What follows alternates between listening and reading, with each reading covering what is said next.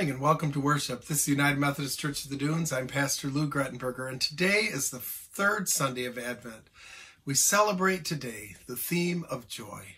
Wonder if you might join me in listening now for our announcements from Carla, our communications director. During these four weeks in Advent, Church of the Dunes is gathering its annual Advent offering. This year's offering will be given to four local organizations that provide food for those in need and this year the needs are especially great. Information about this was provided in a recent letter from the Missions and Social Concerns Commission, and there's also information in today's bulletin. Each Sunday evening during Advent, Church of the Dunes has a drive-in style outdoor Advent wreath lighting with carols and scriptures. This can be seen from inside a vehicle and heard on the car radio. And then on Christmas Eve, Church of the Dunes will have an online Christmas Eve worship service at 5 p.m. Then at 8 p.m., there will be a drive-in style candle lighting with carols. This too can be experienced from inside a vehicle and heard on the car radio. Thanks so much for being here today. Let's join Pastor Lou. You join me in our call to worship? Rejoice in the Lord always, and again I say rejoice. Our joy is in the Lord who blesses us. Shout for joy for the Lord is near. Our praises ascend to God for the mighty things God has done. Let your praise dance and swirl in tribute to God. Surely God blesses and saves us. Alleluia. Praise be to God. Amen. You join me now in our opening hymn, Good Christian Friends Rejoice.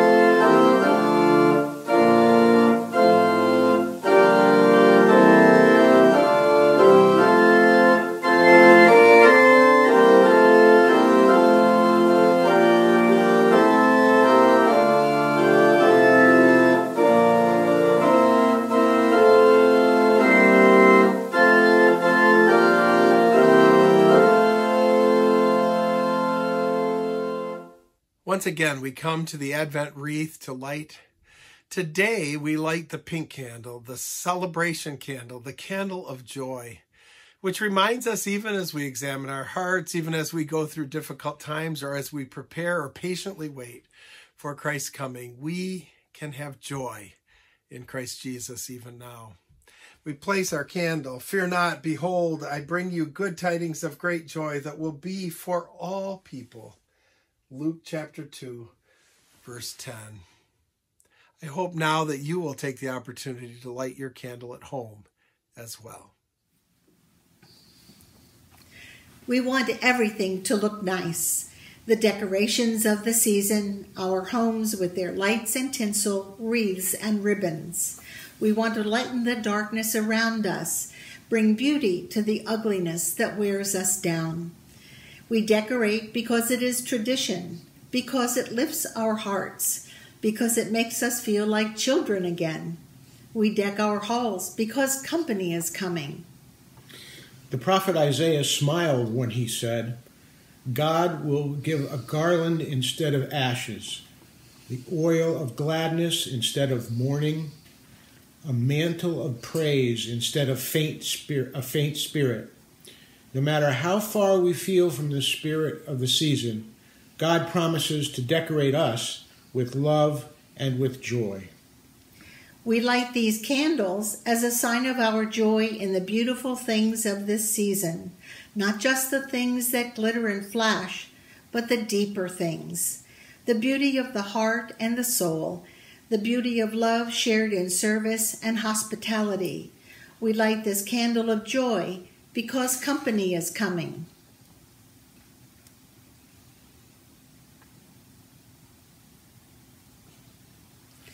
O come, O come, Emmanuel. It's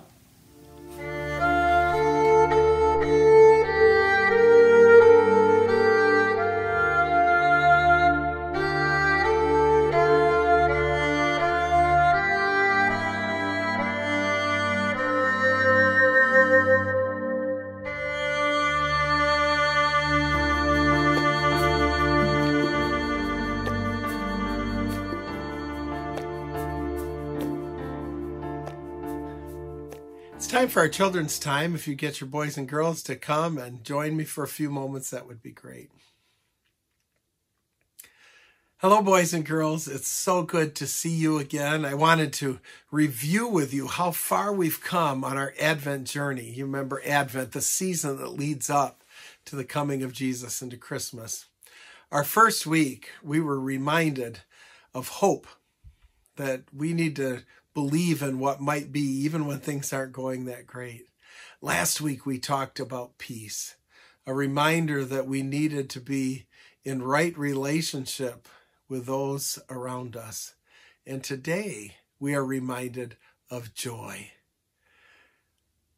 Happiness is one thing, joy is something else. Joy is something that we have even on bad days because it's planted in our hearts. The scriptures say it's something like uh, a fountain. You've seen fountains where out of a little source, all this water comes and spreads out. Well, joy doesn't come from what happens every day. Joy is something when we know the love of Jesus in our hearts that we have all the time, even on the saddest and most difficult days. So, as we come to this third Sunday of Advent, we are reminded that we have joy because we are God's children. The scriptures tell us that. Each of us, no matter how old we are or how young we are, we are all children of God. And that's something to be joy filled about. Will you pray with me, please? Dear God, help us, all of us, to remember that we have this deep joy that's in our heart, no matter what our days bring. We pray these things in Jesus' name. Amen. I'll see you next week, boys and girls. I can't wait.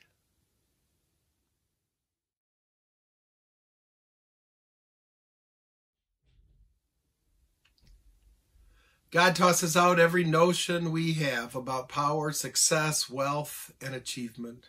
More importantly, God comes to us to upset our notion that we have to save ourselves. In Jesus, God comes to us, removing our sin, our failures, our expectations, so we might have new life. Let's confess our sins together. Advent God, we confess we are not the people you hope us to be the very ones you favor, we too often ignore or ridicule. The ones who knock off their pedestals, we admire and emulate. We are focused on having more and more as we risk being sent away empty. Forgive us, mighty God, and look with grace upon us, that we would live securely in your love, that we could fully experience the joy only you can give. Help us to be people of peace for your world who seek to do your will. We pray this in the name of Jesus, our Lord and Savior. Amen. Hear these words of assurance Even in this moment, God comes to us bringing hope, bringing forgiveness, bringing grace as freely offered gifts to us.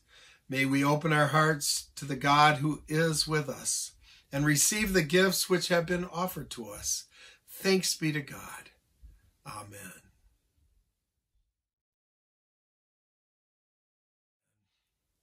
At this time, I would invite you to reflect on how you might give to God this week. We offer several opportunities. You can give through the online giving resources of our church uh, by going to our website, or you can send your gifts to 717 Sheldon Road in Grand Haven, Michigan 49417. However, you give these gifts, be sure they are appreciated. Please join me now in blessing our gifts. Holy God, this Advent season we wait in joy and we give with joy. We give with joy for all you have given us and have abundant joy ourselves because of your sacred promises. Receive these offerings and use them to spread your joy in your world. Amen. Our first reading this morning comes from the Gospel of Luke, chapter 1, verse 46b through verse 55. My soul magnifies the Lord, and my spirit rejoices in God my Savior, for he has looked with favor on the lowliness of his servant. Surely from now on all generations will call me blessed, for the Mighty One has done great things for me, and holy is his name. His mercy is for those who fear him from generation to generation. He has shown strength with his arm. He has scattered the proud in the thoughts of their hearts. He has brought down the powerful from their thrones and lifted up the lowly. He has filled the hungry with good things and has sent the rich away empty. He has helped his servant Israel in remembrance of his mercy according to the promise he made to our ancestors, to Abraham, and to his descendants forever. The word of God for the people of God. Thanks be to God.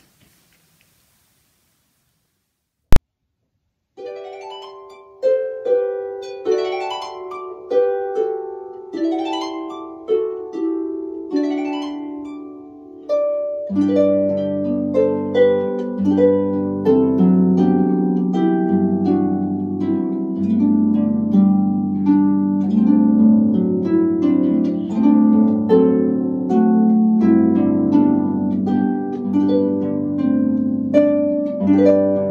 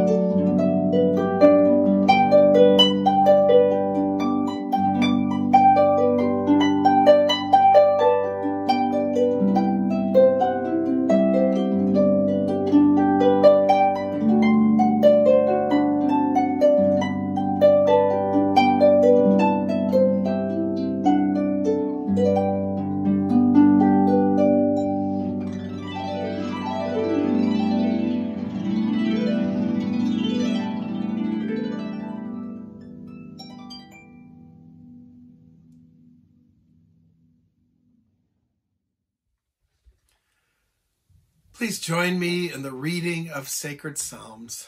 Psalm 126. When the Lord restored the fortunes of Zion, we were like those who dream. Then our mouth was filled with laughter and our tongue with shouts of joy. Then it was said among the nations, The Lord has done great things for them. The Lord has done great things for us. And we rejoiced. Restore our fortunes, O Lord, like the water courses in the Negeb. May those who sow in tears reap with shouts of joy. Those who go out weeping, bearing the seed for sowing, shall come home with shouts of joy. Carry these sheaves. And now I invite you into a reading of 1 Thessalonians chapter 5 verses 16 through 24. Rejoice always, pray without ceasing, give thanks in all circumstances, for this is the will of God in Christ Jesus for you. Do not quench the spirit, do not despise the words of the prophets, but test everything, hold fast to what is good, abstain from every form of evil. May the God of peace himself sanctify you entirely, and may your spirit and soul and body be kept sound and blameless at the coming of our Lord Jesus Christ. The one who calls you is faithful, and he will do this. May God bless this reading from this epistle. Amen. Please pray with me. Lord God, inspire us now as we reflect on your scriptures. Help us to find in them the way that leads to true life. Help us to magnify you in everything we do and say. We pray these things in Jesus' name. Amen. Psalm 126 launches us into reflection and I think hope as we sing, May those who sow in tears reap with shouts of joy.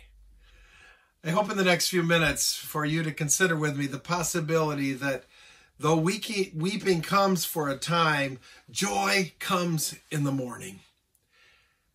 I mean, let's be honest. Advent is a time of mixed feelings. The darkness begins to give way to the light as we move toward Christmas.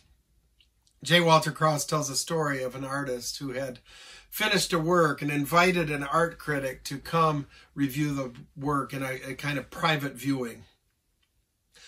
On the appointed day, the critic arrived at the place where the artwork was housed, was in, ushered into a dark room.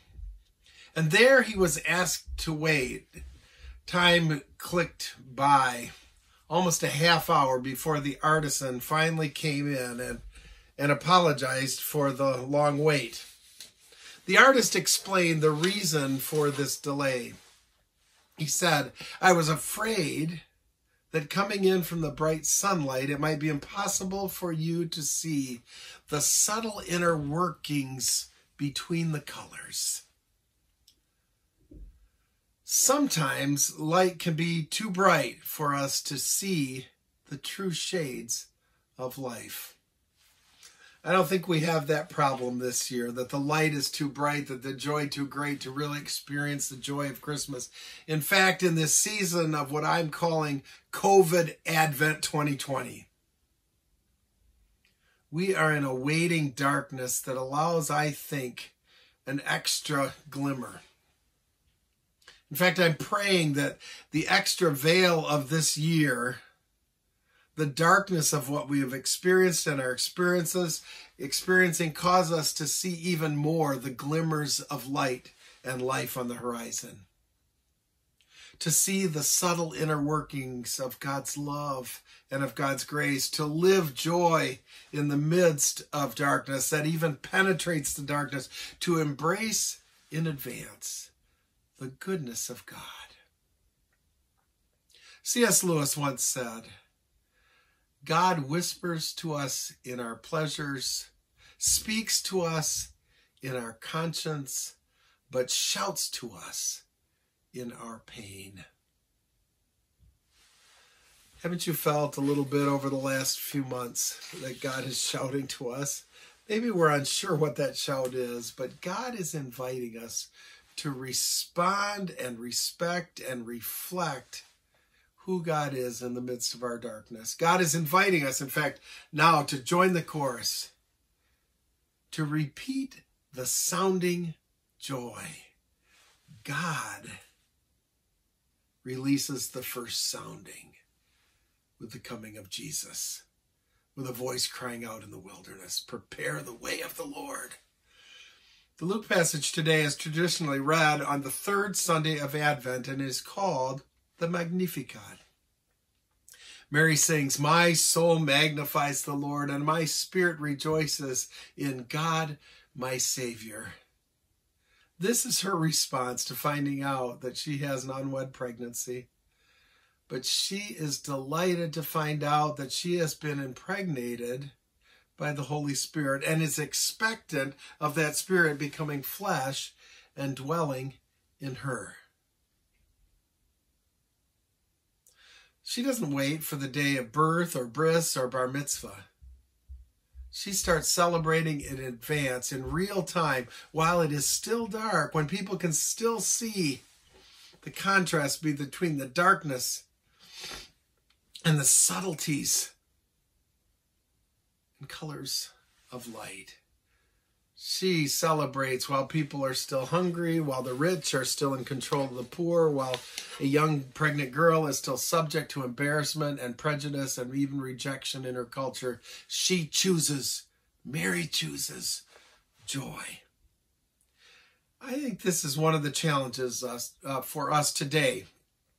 When the skies are still dark, when food lines are too long, and uh, honestly, vaccine lines are still too short while loved ones are succumbing to physical and emotional illness, will we still choose joy? Mary said, I do. I do choose joy. And we can make that choice too, to never give up on life, to magnify the evidence of God's love in this world. The darkness of this hour is the perfect canvas on which to paint the intricacies of God's love, God's grace, God's unending beauty. We shouldn't give up. I we can't give up. We must choose to find the little spots of light of God's love within our souls and allow our souls to magnify that love by giving that love out to others. I invite you to magnify as well the pure joy of God's impending birth into the world in Jesus. In Jesus Christ, the dream of a better time, a better way, a better system, a better hope causes us to burst into laughter because the Lord is here once again to do great things with us. Rejoice always, pray without ceasing, give thanks in all things, for all this, we are told, is the will of God in Christ Jesus for you. The book of First Thessalonians tells us, do not quench the Spirit. When the Spirit impregnates our lives, we are called to give birth to that Spirit in the world to give birth to that which is growing in us, to share it. We give birth to Jesus in the world when we magnify God's love, when we replicate it in the world. In the words of Samuel Taylor Coleridge, and I quote, the happiness of life is made of minute fractions, the little soon forgotten charities, a kiss, a smile, kind look, a heartfelt compliment, the countless infinitesimals of genial friendship. Oh, how we miss some of those right now. We can't. We mustn't wait. We must start today, even before the darkness dissipates, to sound the joy and to repeat that sounding joy. In the poem Glimpses of Grace from the collection called A Cry Like a Bell by Madeleine L'Engle, we read these words called First Coming. He did not wait till the world was ready, till men and nations were at peace. He came when the heavens were unsteady and prisoners cried out for release. He did not wait for the perfect time. He came when the need was deep and great. He dined with sinners in all their grime, turned water into wine. He did not wait. Till hearts were pure in joy, he came to a tarnished world of sin and doubt, to a world like ours of anguished shame. He came and his light would not go out. He came to a world which did not mesh, to heal its tangles, shield its scorn. In the mystery of the Word made flesh, the Maker of the stars was born. We cannot wait till the world is sane to raise our joys with joyful voice, for to share our grief, to touch our pain. He came with love. Rejoice. Rejoice. Would you join me in prayer? Lord God, pour out your grace and your love on this congregation. Help us to come with expectant hearts through this Advent season to the foot of the manger. Remind us that it was out of love that you came. For God so loved the world, you said. For you so loved the world, you came and blessed us with the presence of Jesus. We pray that we might love the world just as much, that we might stretch ourselves out, that we might give as much as necessary so that all might have their needs met and that all might experience the great joy of the birth of Jesus Christ. Help us to reach out to those who are in the hospital and care homes, those who are imprisoned, those who have lost jobs, those who are struggling for work or for food or for all of those things. Help us to be your people, the incarnation of your love in this world. Help us to have joy in our giving. We pray all these things in the name of Christ who taught us to pray, saying, Our Father, who art in heaven, hallowed be thy name. Thy kingdom come, thy will be done, on earth as it is in heaven. Give us this day our daily bread, and forgive us our trespasses as we forgive those who trespass against us and lead us not into temptation, but deliver us from evil. For thine is the kingdom, and the power, and the glory forever. Amen. We join me now in our final hymn, While Shepherds Watch Their Flocks.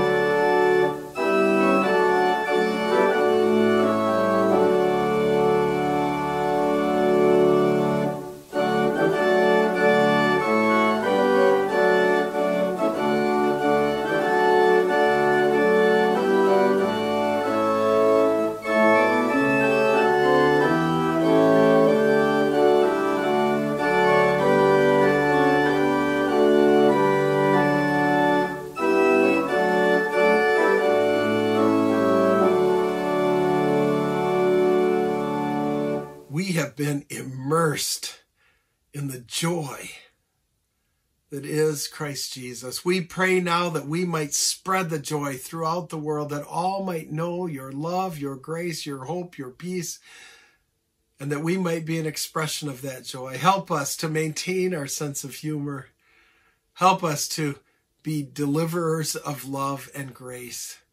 Help us to help others make it to Christmas and the joy that brings. In Jesus' name, amen.